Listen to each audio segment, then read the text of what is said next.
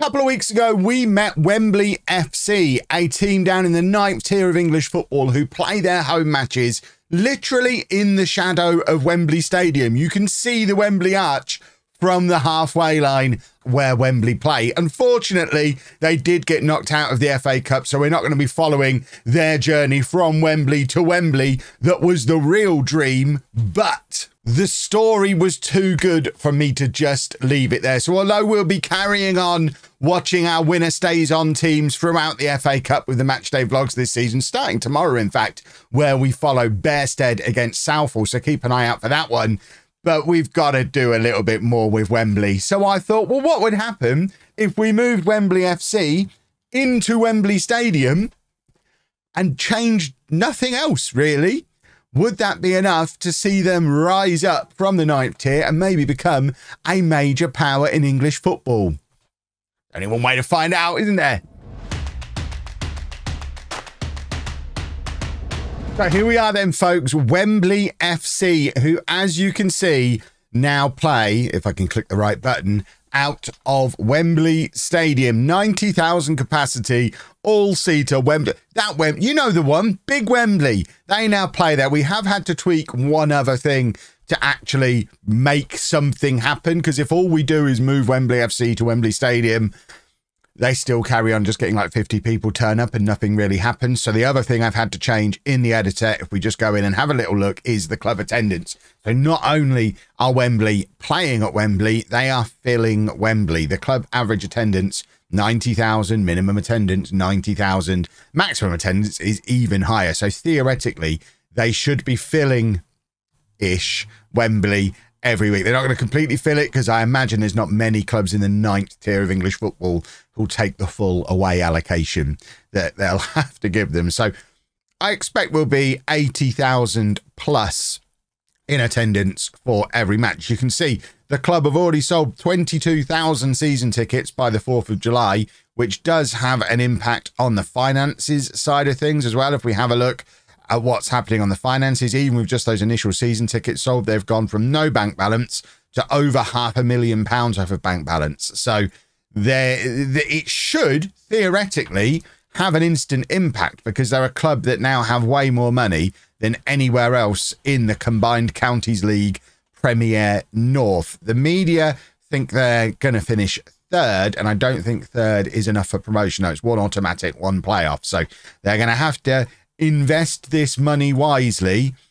And it's just going to be, in- I think it's going to be interesting to see what will happen. If you also think it'll be interesting, make sure you subscribe, turn your notifications on for more stuff like this, plus my daily Let's Play videos as well. And of course, leave a big thumbs up on the video to let me know you want to see more stuff like this here on the channel. I'm new to this experiment stuff, but I'm enjoying it and want to do more. So um, let me know the kind of things you'd like to see me do down in the comments section. But I think for now, all that is left to be done is holiday forward a year and see what happens. Well, there we have it. One year in, and they won the Combined Counties League Premier North in style, seven points clear of the nearest rivals. Um, let's see how much money was spent on transfers. I mean, no actual transfer fees spent, but lots of players accumulated on free transfers, not necessarily from massive clubs, picking up a lot of players who were available on free transfers. But if we have a look to see what the attendances were like last year, um, you can see first home game in the league of the season, 85,000, and it has pretty much stayed solid at that level all year long um, which should have had quite the impact on the club finances. So if we just dip in here, have a look at the finances, they have got what's that, 14 million pounds in the bank and a transfer budget for the new season of 12.5 million pounds and a wage budget of 95,000 pounds per week, which is huge for this level of football. Let's see if they're throwing money at any players on big salaries. I mean, their highest paid player, Emmanuel Obama, Obama-Kimwa, um, I think he was here. He was actually here at the start. So rather than throwing money at new players, the thing they've done, first of all, this summer is reward their their one real player that they had at the start of the save with the biggest con- contract in the history of the football club. But there are a few other players who are starting to pick up like League Two level salaries. They're not necessarily League Two level players, but I guess as long as they're better than the other players at this kind of level, it's obviously enough for them to have won the league. So they've not gone mad. There's three big contracts, another eight or nine, still too big for this level, decent size contracts, and then a few youngsters on quite cheap money. Have they gone professional? They have gone professional. So that's another thing that's ticked over with the amount of money in the bank that they've got. The club has gone pro and now find themselves in the Isthmian League Division 1 Central for this coming year. No money's really been spent on facilities. The facilities still absolute trash, apart from, of course, the corporate facilities. But all in all, positive stuff for Wembley. They're up to tier eight. Can they do it all again and keep charging up the leagues? I mean, with the amount of money they've got, they definitely should be able to. But Football Manager AI sometimes has other ideas. So season two hasn't necessarily gone to plan. A 16th place finish. Um, never really in a relegation battle, but also never in any danger of getting promoted either. If we have a look to see if they've started spending any of that 12 million pounds, they absolutely have not and still just collecting players. I said the club reputation might be a problem, and it looks like it is because the the caliber of clubs that players are being signed from, not necessarily the level you would expect with the amount of transfer money that they've got to spend. It. In fact, the uh, the only cash transfer that's happened during the entirety of the first two years was them loaning out a young player. There's even more money in the kitty, twenty three million pounds now sat there. A transfer budget still of twelve and a half million, and the wage budget is now one hundred and sixty four thousand pounds a week, which is absolutely enormous. That's that's like league a good League One club level of money. They're not investing any of the money in facilities still. They need to buy some players. I think we're going to jump forward a couple of years now, uh, maybe even three years. We don't want to be doing this one by one, season by season. We'll be here forever. But let's go. Let's go to the five-year point and let's see where Wembley are after five years of playing at Wembley Stadium. Well, they got relegated again the next season, which I'll level with you wasn't anticipating. So relegation. So the next season, um, I guess back down to whence they came. So back down to the combined counties league north, which to be fair, they did win easily again. Back up to the Southern League um, Isthmian League thing that they got relegated from that season and finished 16th. So they're back in tier eight after five years of playing at Wembley Stadium. Four favourites for promotion, but for whatever reason, things just aren't working out. There's been several youth and training facilities upgrades even though nothing seems to be happening yet, it looks like the foundations are being laid. Attendances are down to 37,000 now, so they are starting to drop.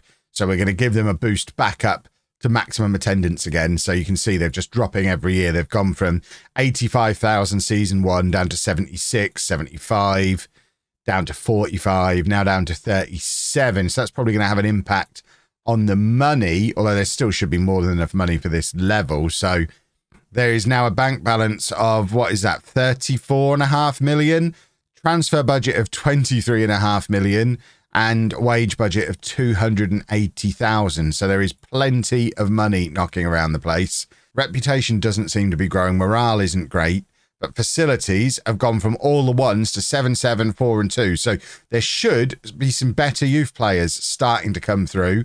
We're now boosting attendances back up to 90,000 again. So that's going to have an impact on the club finances again. They're still not actually spending any money on transfers, which I think is very much a club reputation thing. So part of me wonders whether we should be giving the club reputation a boost because obviously in real life, if they went to play at Wembley Stadium, they're going to get a reputation boost. But I'm kind of interesting to see if the if the attendances and the money itself is enough. I'm sure we've all seen these experiments where people start and do similar things to this in the National League North and South, but starting this deep in the pyramid, is the money enough? And at the moment, five years in, possibly not. Let's go another five years and see what happens then. And it looks like Wembley are finally starting to make a little bit of progress, albeit painfully slowly. We are 10 years in to them playing at Wembley Stadium, and they've made it as far as the Isthmian League Premier Division. If we have a look at how the last five years have gone, um, you can see that was the year they were relegated back down to the counties leagues. Um, and then back up to Isthmian League Division One South Central for four years before finally winning it. Um, and it looks like a couple of years ago, they very, in fact, last year, very nearly winning promotion again. So things are starting to move in the right direction. Finishing third, I mean, it feels like there might be another promotion in the near future for Wembley. His reputation has gone up a little bit. You can see club average attendance still around 90,000. There's now 62 million pounds in the bank and a 42 million pound transfer budget, wage budget of 600,000. Facilities have got up again. My word, they're paying some salaries. Let's just have a look at trans. They're still not spending money. They did a £5,000 transfer there.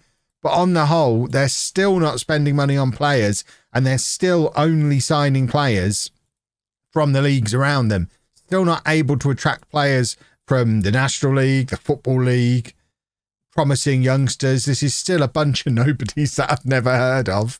Um, but they're paying them like League One championship wages. So five more years in, and as you can see, Wembley are in the National League South. Let's have a look to see how they've got there. Um, so it looks like they've literally only just got there. So they had a little bit of a relegation after after getting very close to promotion, finishing third in the Isthmian League Premier Division. They then got relegated the next season. Took them two years to come back, a second and a first place finish. Uh, but then once back in the Premier Division, a sixth place finish, and then last year finishing as champions in the Isthmian League Premier Division, which means Wembley are now in the playable leagues. 15 years in, 15 years of playing at Wembley Stadium, and finally they've made it to the National League South. Let's have a look to see how attendances are doing. They have dropped massively. So we are going to give them a little bit of a boost back up again, um, just to just to continue pushing Wembley forward. In fact, it looks like they started to fall almost immediately after the last update. So we were 85,000. I guess the relegation didn't help. Um, so they stayed around the 75,000 mark. That season, they were in the Premier Division. Um, but then the relegation attendances just collapsed, fell in half, and they've never really recovered, even with the uh, the promotion and the title winning season. So now they've had another promotion. Let's boost them back up um, attendance wise, yeah, that's that's fallen in half. That will never do. You can see reputation has had another little boost though, up to 1738. Finances, they're actually falling. Only 41 million pounds in the bank. I mean, I guess they've not had the same kind of income, but what on earth are they spending it on? Um, nearly 40 million pounds in the transfer budget, over half a million in the wage budget. Facilities have actually declined since the last update, probably because they've got a little bit older. So if we check on the landmarks, um, we did have a new chairman take over. I, I wonder if the old one took some money with him. But the last time facilities were updated was back in 2031, so six years ago. So they are starting to decline now. They've got the best player in the league. Dan Challoner, the goalkeeper, is the best player in this league, released by Coventry. So again, this is the kind of player you would be expecting Wembley to sign. So they've got the best goalkeeper in the league. Um, that is the only player who's on the uh, who's on the best players list, but he is the best player by quite a long way. So I wonder if he'll stick around or if they'll sell him. Hartlepool and Portsmouth want him. He's under contract for one more year. Right, we've boosted attendances back up. You know the score by now five more years. And as you can see, they've only made it as far as the Vanarama National League. They, uh, it just doesn't make enough of a difference having all of this money. It seems. If we look back at the last at the last five years worth of performance, you can see that they did uh, jump up to the Vanarama National a couple of times. leading to relegations. They've been there, established for the last few years now, including a second place finish last year. They were they were this close to making it making it to the football league by my deadline. So I feel a little bit harsh in the circumstances with them getting 87 points, pulling the plug here. So I think we're going to do a very scientific leave it to holiday overnight tonight and see where we are in the morning. I don't know how many years will have passed in that time, um, but if we have a look at attendances, um, they are they've fallen again. So let's give them one more boost. This is the this is the oh, look the re- reputation's growing as well. This is the final boost. If they can't do it on their own from here, there's no helping them. They've got what 77 million in the bank. 57.5 million transfer budget, loads of spare wage budget. Facilities have jumped up again. So they've done something facilities wise. Um, there you go. They improved the youth and the training facilities there. Let's see what the media think they're going to do this season. They are favourites for promotion. Well, I'm just leaving it here. They're favourites for promotion. They've got one of the best players in the division, which is Jerome Durkin, who we've already looked at. Um, MK Dons are in non-league, so that's a happy situation. I reckon overnight we could get 10 or 15 years in. We're really going to see where they might end up. But 25 years to still not make it into the Football League. Well, it turns out my computer can get through some seasons overnight. We are now another 30 years in the future. So 55 years after the start of the experiment. And as you can see, Wembley have made it to the championship. Let's see how they got here over the course of the last 30 years. So we left things off just there with them just finishing in second place in the National League. And uh, it looks like it took a couple more years to get out of the National League, going up through the playoffs two years later. They only needed two seasons in League Two, a mid table finish, and then up as champions. And then one season of struggle in League One, finishing 18th before three consecutive top four finishes, losing out in the playoffs twice before going up automatically in second place. And since then, it has been getting on for 20 years as basically a mid table championship club. Um, so it turns out if you give a team Wembley Stadium and 40 or 50 years to play in it, eventually they'll become Coventry. So that's so that's good. I guess. Let's see what attendances are like these days. Um, you know what? They're still getting around 75, 80,000 in the championship, which does boggle the mind a little bit as to how they've never made it to the Premier League with those kind of resources. If we have a flick back through what they're doing in transfer, I mean, they spent 12 and a half million that year, but sold 54 million pounds worth of players. They're, uh, they're never spending massive, are they? More often than not, it's a net profit on the spend. They have a couple of years here and there where they throw some money around, like those two, but it's usually after they've had some profits come in. Let's have a look at the club finances and see exactly what's going on there. So they've got all the money under the sun to play with. Like, what's that? 200, nearly 300 million pounds as their bank balance um, a transfer budget of nearly 50 million pounds in the championship, massive wage budget. Their facilities have bumped up and been improved again, so that's something they've gradually worked through. Club reputation has had a huge boost, over 6,000 on the club reputation now. If we have a look, and let's can we filter this to facilities? We can. Um, so since that last time they were upgraded, they've been upgraded twice more. They've not touched them for a few years now. So with the amount of money they've got in their kitty, they probably are due an update to the club facilities.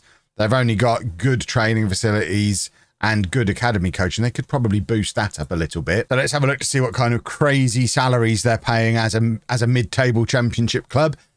I mean, there's some players on a few quid there. They still don't have an absolutely massive squad, um, but obviously they are for 20 years or so established at this level, so they are paying some pretty decent salaries. I do wonder why they kind of just got stuck with the amount of money that they've got. I guess who knew? It turns out if you move a tier nine non league club and put them in Wembley Stadium for 50 plus years, they do eventually start climbing up the league and accumulating some cash. I tell you what, it took a lot longer than I thought that it would take. If you enjoyed that, please make sure you leave a nice big thumbs up on it for me. Let me know down in the comments what other experiments and things you would like to see. I am enjoying being basically a football manager scientist now and doing all these experiments. So, gonna do plenty more of these. So, subscribe to the channel, turn your notifications on for all that kind of stuff, and don't forget to watch the Let's Play stuff midweek as well. And a match day vlog coming out tomorrow from the next round of the FA Cup. Maybe we'll find an experiment to do with Bearsted. Maybe that'll be a thing with the FA Cup series. But thank you very much for watching. Toodle pip.